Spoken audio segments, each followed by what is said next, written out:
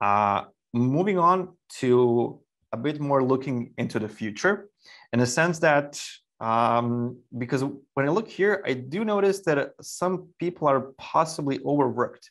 So what I may have to consider is to hire some new people.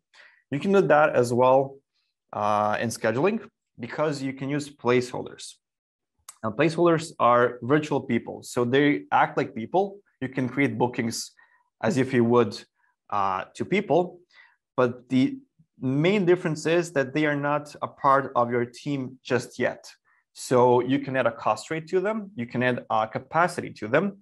So you can obviously create um, a cost matrix uh, for, for the future.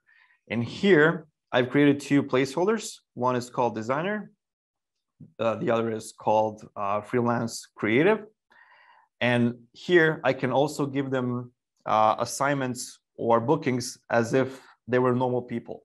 So then I can track um, how many people should I employ and when should I employ them, just looking in the future. Obviously here I haven't given them enough work in the future, so I should probably re rethink if I should hire them to begin with.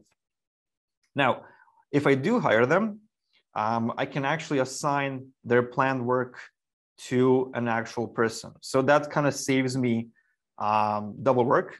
So then when this new person uh, really comes to my organization, then I can give them the workload that I've actually planned before.